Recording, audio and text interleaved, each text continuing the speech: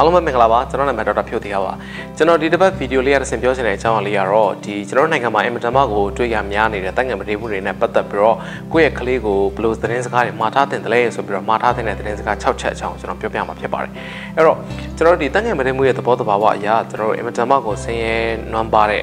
အခြေအနေမှာရှိနေတဲ့ကလေးတွေဆိုရင်တော့ပို့ပြီးတော့တွေ့ရများတာမှန်ပေမဲ့ကလေးရဲ့သဘောတဘာဝကိုကကျွန်တော်ဒီလူကြီးနဲ့ဆက်လို့ရှိရင်အသိပညာအားနေတယ်ပြီးတဲ့အခါကျတော့ခွန်အားအားနေတဲ့အခါမှာလွယ်တကူအနိုင်ကျင့်ရတာတိတ်ကိုမှလွယ်နေပါတယ်လွယ်တဲ့အခါကျတော့ကျွန်တော်ဒီတခါတော့ဆိုရင်ကျွန်တော်စီမကိုအဖေတယောက်ကပေါ့နော်ဟိုတယ်လီဖုန်းဆက်ပြီးတော့အကြံဉာဏ်တောင်းပါတယ်ဘာလဲဆိုတော့သူသမီးလေးနဲ့သူနဲ့ဒီထမင်းစားနေရင်းနဲ့ပေါ့လေစကားပြောကြဆိုကြရင်လည်းဘာလေးကလေးစီကကြားလိုက်ရလဲဆိုတော့သူသမီးလေးကိုထားတဲ့မူချိုမှာပေါ့နော်နေခင်းဘက်ဆိုလို့ရှိရင်ねဒီမူချိုမှာရှိတဲ့ဒီအလုပ်ဟိုကူညီပေးနေတဲ့လူတစ်ယောက်ကကလေးကိုခွတ်ခွတ်ပြီးတော့မှဟိုတိတ်တယ်ပေါ့နော် အဲ့တော့သူအမှအရန်လန့်သွားတာပေါ့ဘာလို့လဲဆိုတော့ကလေးကိုခွာပြီးတော့မှတိတ်ဆရာအကြောင်းမှမရှိတယ်ယောက်ျားတစ်ယောက်ကသူကလေးလေး main ကလေးလေးတစ်ယောက်ကိုပေါ့နော်ဆိုတော့အဲ့မှသူအရန်လန့်သွားတော့ကလေးကိုမေးမေးတော့ခါကျတော့ကလေးကလည်းအစားတော့တိတ်မဖြေချင်ဘူးပေါ့နော်နောက်မေးမေးနဲ့ဘာသတင်းစကားထွက်လာလဲဆိုတော့ဟိုတခါတော့ကြတော့တဲ့ကလေးကိုဒီခုနလူကပဲကလေးကိုနည်းနည်းလူလူသူရှင်းတဲ့နေရာတစ်ခုကိုခေါ်သွားပြီးတော့မှဘာလို့ခိုင်းလဲဆိုတော့သူ့ရဲ့လိန်ခေါကိုကန်ခိုင်းနေဆိုပြီးတော့ဟိုကလေးကပြောတယ်အဲ့နဲ့သမီးကန်လေလားဆိုတော့ကလေးကလည်းဘာမှမသိတော့ဟိုကလူကသူနဲ့ရင်းနေနေတဲ့ခါကျတော့ကန်ခိုင်းတော့လည်းကန်လိုက်တာပေါ့နော်ဆိုတော့အဲ့မှာသူအရန်လန့်သွားပြီတခြားဘာလုပ်သေးလဲမေးတဲ့ခါကျတော့တခြားတော့ဘာမှမလုပ်ဘူးပေါ့နော်ဒီဟာပဲဆိုတော့အဲ့မှာသူကနေပြီးတော့ကျွန်တော်လန့်တိုင်ပင်နဲ့ဘာဆက်လုပ်တယ်လဲပေါ့နော်အဲ့တော့ဒီခြေနေလေးရတဲ့ဆင်ကျွန်တော်ဘာလေးသိချင်တာလဲဘာလေးသိစေချင်တာလဲဆိုတော့ဟိုခုနပြောသလိုအရန်ဆင်းရဲနံပါတ်တဲ့အခြေအနေမှာတော့ဖြစ်တာမှန်ပေမဲ့ဟိုကိုယ့်ရဲ့ကလေးဒီခုနပြောသလိုအသိပညာအဖြစ်လူချင်းနဲ့ရှင်နေတယ်ခွန်အားအဖြစ်နေတယ်ကိုယ်ဘာလို့လုပ်လိုက်မှမသိဘူးဆိုတဲ့အခါမှာလွယ်တကူအနိုင်ချင်းရလွယ်နေတယ်ဒါကြောင့်မလို့ကိုယ့်ကလေးတွေကိုကျွန်တော်ဒီတက်ငယ်မတင်းမှုတွေနဲ့ပတ်သက်ပြီးတော့ကိုယ့်ကလေးတွေကိုကိုကိုကိုဘယ်လိုကာကွယ်ရမလဲဆိုတဲ့သတင်းစကားတွေကိုမိဘတွေအုပ်ထင်းတွေအနေနဲ့ပြောပြထားတဲ့ဆိုတာလေးကိုဒီဗီဒီယိုလေးရတဲ့ဆင်ကျွန်တော်ပထမဆုံးပြောပြလိုပါတယ်ကလေးတွေကိုကျွန်တော်ပထမဆုံးအနေနဲ့ပြောထားတဲ့တယ်လဲဆိုတော့တို့ရဲ့ခန္ဓာကိုယ်အစိတ်အပိုင်းပေါ့နော်ဘယ်လိုနေရာမျိုးတွေဟာတော့ private parts ဖြစ်တယ်ဆိုတော့ကတီးတန့်ဆန်တယ်ပေါ့ဘယ်သူကမှဟိုပေးကင်လို့မရဘူးဆိုတဲ့အစိတ်ပိုင်းလေးတွေအကြောင်းပြောပြထားဖို့လိုပါတယ်အဲ့တော့အဓိကအဖြစ်ဆိုရင်တော့အရင်ဆုံးရင်သားပေါ့နော်ပြီးတဲ့အခါကျတော့ကျွန်တော်ပို့ပြီးအရေးကြီးတာတော့တင်ပါနဲ့လိန်ကာနဲ့ဒီနေရာတွေဒီကျွန်တော်တို့ဘယ်သူကမှထိတွေ့ကန်တယ်လို့ခိတွေ့ကန်တယ်ကွယ်မပြည့်ဝဘူးဆိုတဲ့သတင်းစကားကိုပထမဆုံးအနေနဲ့မှာချထားဖို့လိုပါတယ်အဲ့တော့ဒါမှသာကျွန်တော်တရားရောက်ကလာပြီးတော့ဒီနေရာတော့ကန်တွေ့လို့ရှင်ဒါဒီမူမမှန်ဘူးဆိုတဲ့အသည့်ကိုကလေးရဲ့ခေါင်းထဲမှာရှိနေမှာဖြစ်ပါတယ်ခင်ဗျာ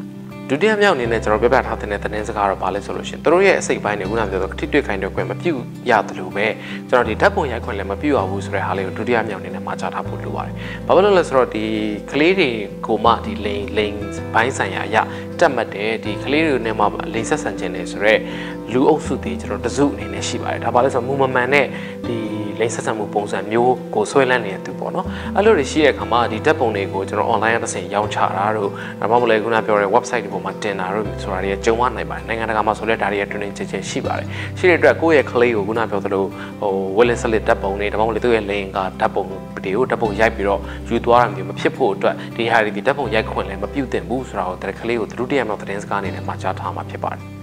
တတိယမြောက်အနေနဲ့ကျွန်တော်ပြောပြထားတဲ့သတင်းစကားတော့ပါလဲဆိုတော့သူ့ရဲ့လေရင်ကားတွေကိုဘယ်သူကမှကင်တွယ်ခွင့်မပြုတ်တင်တယ်လို့ပဲနောက်ထပ်လူကြီးတယောက်ကသူ့လေရင်ကားကိုကင်ပါဆိုပြီးကလေးကိုပြောလာရင်လေဒါဒီလုံးဝလက်သက်ခံတဲ့ပြုတ်မဟုတ်ဘူးဆိုတာကိုတတိယမြောက်အနေနဲ့ပြောပြထားဖို့လိုပါတယ်။ဘာဖြစ်လို့လဲဆိုတော့ကျွန်တော်မနက်အစပိုင်းမှာပြောခဲ့တဲ့ဇလန်လေးလိုပဲကလေးကိုအာတမပြစ်ချင်းကိုစ조사ရတဲ့သူတော်တော်များများသည်သူ့ရဲ့လေရင်ကားကိုကလေးကိုကန်ချီခိုင်းခြင်းဖြင့်အစတင်တတ်တယ်ပေါ့နော်။ဆိုတဲ့အတွက်ကျွန်တော်ဘာဖြစ်ဖို့လိုလဲဆိုဒီလိုမျိုးကန်ခိုင်းနေပြီဆိုတော့ဒါဒီမူမန်မူမန်နဲ့ကိစ္စကိုယ့်ကိုအန်ဒီရပေးတော့မှာကိုယ့်ကိုပြဿနာပေးတော့မှာဆိုတဲ့ကိစ္စမှန်ကလေးရသိနေမှုလိုပါတယ်ဒီအတွက်တတိယမြောက်သတင်းစကားအနေနဲ့ဘသူကပဲဖြစ်ဖြစ်သူ့ရဲ့လေရင်ကောင်ကန်ခိုင်းမကလေးကိုပြောလိုက်ရင်ဒါကိုညှင်းဆန်ရမယ်ဆိုတော့တတိယမြောက်အနေနဲ့ကျွန်တော်ပြပြထားဖို့လိုပါတယ်အဲ့ တော့သရုတ်တမြောက်ပေးရမယ့်သတင်းစကားတော့ဘာလဲဆိုလို့ရှိရင်ခုနပြောသလိုအာရမပြုတ်ချင်းခံလိုက်ရတယ်ဒါမှမဟုတ်လည်းကလေးကိုအနိုင်ကျင့်လိုက်ပြီးတဲ့နောက်မှာအနိုင်ကျင့်လိုက်တဲ့သူတွေဒီကလေးကိုချင်းချောက်ထားတတ်ပါတယ်အဒီအကြောင်းနဲ့ပြောလို့ရှိရင်နင့်ကိုတက်ပြစ်မယ်နင့်အဖေမေကိုငါတို့ဘယ်လိုတက်ပြစ်မယ်ဆိုတာမျိုးပြောပြထားတဲ့အခါမှာကလေးကဘယ်သူမှမပြောရဲဘဲနဲ့တယောက်တည်းကြိတ်ပြီးတော့ဒီဟာကိုခံစားနေရတယ်မျိုးလည်းကြုံရနိုင်တာမို့လို့အာဘယ်ကိဘယ်လိုကိစ္စမျိုးပဲကြုံတွေ့လာရပါစေအဖေနဲ့အမေကိုပြောပြထားသည်သူသူ့အတွက်ကလေးအတွက်ဘေးကင်းဆုံးပဲဆိုတော့သတင်းစကားကိုကျွန်တော်အမြဲတမ်းပေးနေဖို့အရေးကြီးပါတယ် အဲ့တော့ပြင်စမမြောက်ပြောရမယ့်သတင်းစကားတော့ဗာလဲဆိုလို့ရှိရင်ခုနပြောသလိုပြုကျင့်လိုက်တဲ့သူတွေဒီတစ်ခါတလေမှာချင်းချောက်ထားတဲ့သူတွေပဲတစ်ခါတလေကျတော့ဒီဟာကိုရှုပ်ဝက်ထားတယ်ဆိုတဲ့ပုံစံမျိုးနဲ့ဟိုကလေးနဲ့ကစားသလိုပုံစံမျိုးလေးလှုပ်ထားမျိုးလည်းရှိပါတယ်အဲ့တော့အထူးသဖြင့်ဆိုရင်တော့သူထက်နည်းနည်းလေးကြီးတဲ့ကလေးပေါ့ကလေးနဲ့ဒီကလေးနဲ့အများနဲ့ကစားနေတဲ့နောက်ထပ်သူထက်နည်းနည်းလေးကြီးတဲ့17နဲ့17နဲ့အရွယ်ကလေးလေးကခုနပြောတဲ့9နှစ်6နှစ်ကလေးလေးကိုဒီဟာမျိုးတွေပြုတ်လုပ်ထားပြီးတဲ့အခါမှာဘယ်လိုပြောလို့ရှိတတ်တယ်လဲဆိုရင်ဒါလေးကိုရှုပ်ဝက်ထားရအောင်ဘယ်သူမှမသိပဲထားရအောင်ပြီးတော့ဒီလိုမျိုးဟိုတရားကိုပြောလိုက်လို့ရှိရင်နည်းနည်းငါနဲ့မကစားတော့ဘူးဆိုတာမျိုးတွေနဲ့ကလေးကိုမာထားမျိုးရှိတယ်အဲ့တော့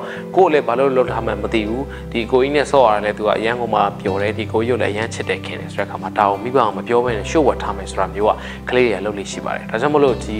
ကလေးနဲ့လူကြီးနဲ့ခြားထဲမှာမိဘနဲ့ခြားထဲမှာဘာမှရှုပ်ဝတ်ထားတာမရှိဖို့ကိုလည်းကျွန်တော်တို့ပြင်စမမြောက်သတင်းစကားအနေနဲ့ကလေးကိုမှာထားမှာဖြစ်ပါတယ်အဲ့တော့နောက်ဆုံးနဲ့ကျွန်တော်အရေးကြီးဆုံးလို့ပြောရမယ့်သတင်းစကားတော့ဘာလဲဆိုလို့ရှိရင်ခုနကျွန်တော်ပြောခဲ့တဲ့အချက်၅ချက်စလုံးဒီဟိုပြင်ပကဒစိမ့်နေနဲ့မဟုတ်ဘဲနဲ့ကိုယ့်ရဲ့မိသားစုဝင်တွေဖြစ်ရင်ဖြစ်မယ်ကိုယ့်ရဲ့ဆွေမျိုးသားချင်းတွေဖြစ်ရင်ဖြစ်မယ်ဒါမှမဟုတ်လေကိုယ့်ရဲ့ကိုယ့်အိမ်ကိုအမြဲတမ်းလာနေတဲ့ကလေးနဲ့ရင်းနှီးကျွမ်းဝင်တဲ့သူတွေနဲ့ဖြစ်နေအောင်တော့ဒီအချက်၅ချက်လုံးတွေအကျုံးဝင်တယ်ဆိုတဲ့ဟာလေးကိုကျွန်တော်အဓိကသိစေချင်ပါတယ်။ဘာလို့လဲလဲဆိုတော့ကျွန်တော်အမေရိကန်မှာလုပ်ထားတဲ့စစ်တမ်းအရတက်ငယ်မတိမှုတွေရဲ့63ရာခိုင်နှုန်းဒီဒီ ရင်းနေတဲ့သူတွေကလေးနဲ့အများနဲ့ရင်းနှီးကျွမ်းဝင်နေတဲ့ဆွေမျိုးသားချင်းတွေဒါမှမဟုတ်လည်းအိမ်ကိုအမြဲလာနေကြလူတွေအဖေရဲ့တငယ်ချင်းအမေရဲ့တငယ်ချင်းစသဖြင့်ရင်းနှီးကျွမ်းဝင်တဲ့သူတွေကပြုတ်လို့တာဖြစ်ပြီးတော့9ရာခိုင်နှုန်းအောင်ပဲလုံးဝကိုမသိတဲ့ဇိမ်းတွေကပြုတ်လို့တာဖြစ်ပါတယ်။ဒါကြောင့်မလို့ခုနကကျွန်တော်ပြောခဲ့တဲ့အချက်၅ချက်တွေဒီတရင်ဒဇိမ်းအလုံးမှလက်သက်မခံရတာမျိုးမဟုတ်ဘဲနဲ့ဘသူကပဲလုပ်တည်ဖြစ်စေကိုယ့်ရဲ့ဆွေမျိုးအရင်တွေကိုနဲ့ရင်းနှီးကျွမ်းဝင်နေတဲ့သူတွေဘသူကပဲလုပ်တည်ဖြစ်စေဒါတွေဒီလုံးဝလက်သက်ခံလို့မရဘူးဆိုတဲ့သတင်းစကားကိုနောက်ဆုံးအနေနဲ့မှာကြားထားမှာဖြစ်ပါတယ်။ကျွန်တော်တို့တန်ငယ်ပဒိမှုတွေဒီကျွန်တော်နိုင်ငံမှာလည်းအမတန်မှကိုတွေ့ရများလာတာဖြစ်တဲ့ဖြစ်တဲ့အပြင်ကလေးတွေဒီသူတို့ရဲ့သဘောတဘာဝကိုရ